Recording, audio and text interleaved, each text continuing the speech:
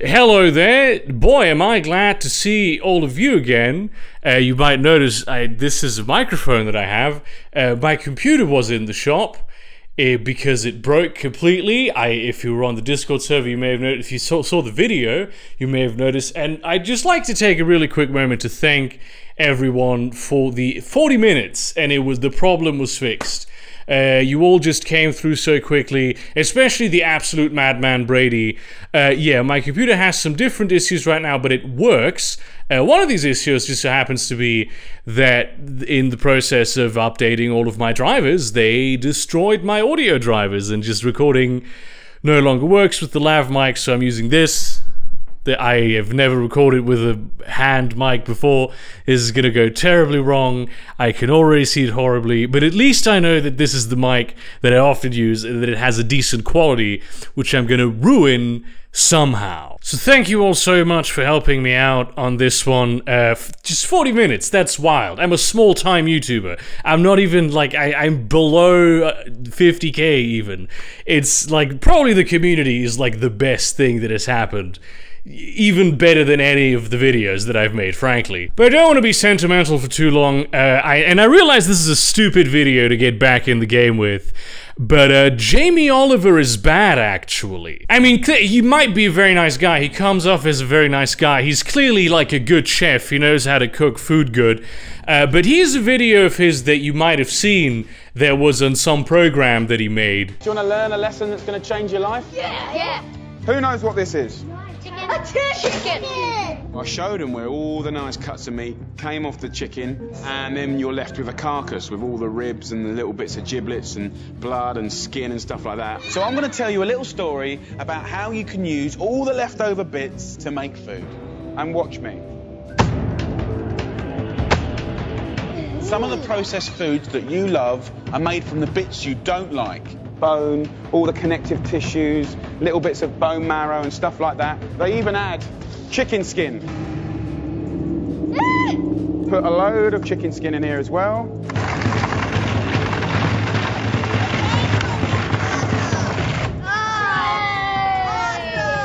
You've got to put loads of stuff in it, you know, flavouring in there to make it taste of something nice instead of something horrible. We can get a cutter and cut out our very own patty. Just like that, put some breadcrumbs on it. And there you go, ladies and gentlemen, our very own patty. Now, who would still eat this?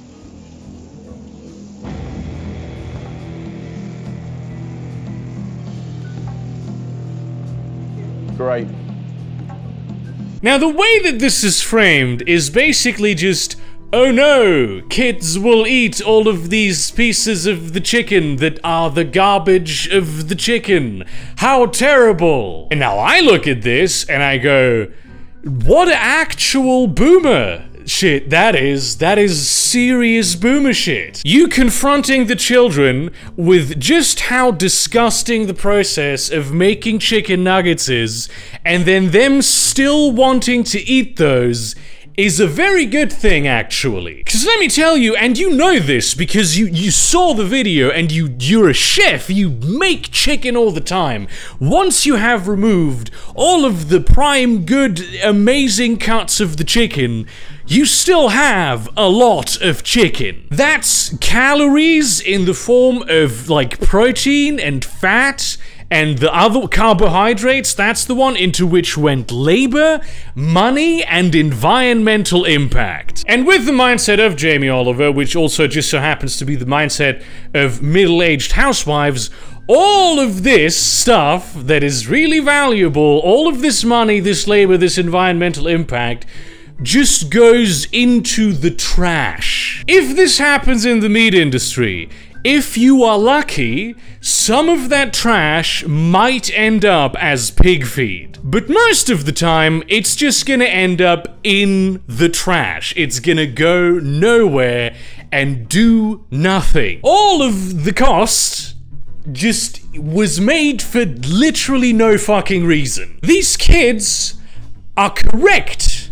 They are right It is good to eat the waste products, not just for the wallet, but also for the environment. Also, let's just take a look at this real quick, right? Some of the processed foods that you love are made from the bits you don't like. You've got to put loads of stuff in it, you know, flavouring in there to make it taste of something nice instead of something horrible. James, I do realize the futility of asking a chef this, but do you know what cooking is? A raw chicken breast is also a bit of the chicken that I don't like. It's dangerous and disgusting to eat. And yet, after some additional processing in the form of cooking it to extract additional nutritional value and improve the taste, suddenly I like the chicken breast, even though it was made from a bit that I don't like. This is this is literally why we cook food. That's the reason we do it. There are some bits of the chicken that you don't like which will require a bit more processing in order to be made appetizing. It's no reason to just throw that shit away. This is the mindset that like massively accelerated climate change only wanting exclusively the very best cuts and anything that isn't the prime rib most excellent thing that you can get out of the thing just throw it away it's poor people food waste it that is the boomer mindset and these kids do not have the luxury of the boomer mindset i mean obviously the you know the reason they say yes i want to eat the chicken nuggets isn't some like lofty ethical considerations that they've made the arithmetic of in their head where they go, oh, well, if I don't eat the chicken nuggets in 80 years, I'm going to be old and then the climate. No, that's. They just want to eat them because they're chicken nuggets. But even without having done the moral arithmetic, they're correct. I mean, yes, of course, the you, the best way of reducing the impact would be if we all went vegan. But let, let's be honest, family, for a second, right?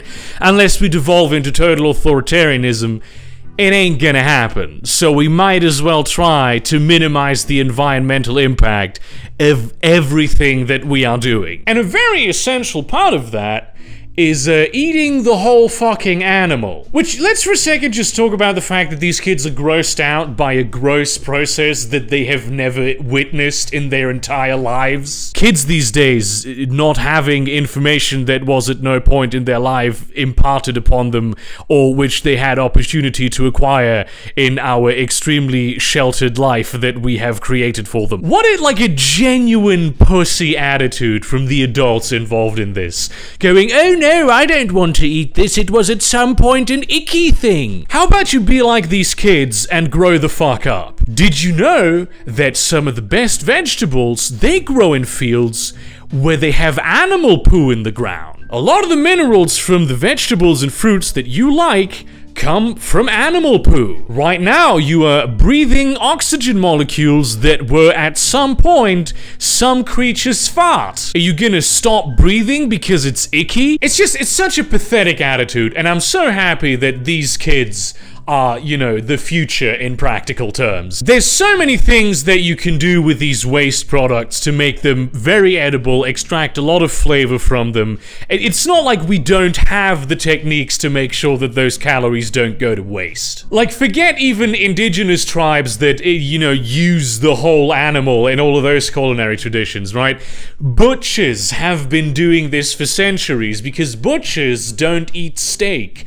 Butchers eat practically exclusively animal waste products that other people don't like. So say what you want about like the meat processing industry, I'm not gonna hold them up as the holy grail of environmental integrity because they are not. What I am saying is that this fucking boomer attitude toward waste products, not just in food, but pretty much anywhere, has been a disaster for the environment and it needs to be ridiculed until it stops. Thank you very much for watching this video. Like, comment, subscribe, share this to your relevant communities, but do not spam them. Consider supporting me on Patreon or Subscribestar, buying some of my merchandise or my short story collection. And in that spirit, I hope this wasn't a huge mistake. Look, if I hold it out like this, you see the difference as I talk.